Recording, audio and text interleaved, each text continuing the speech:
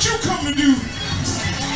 Listen, we're not excited over no female in here.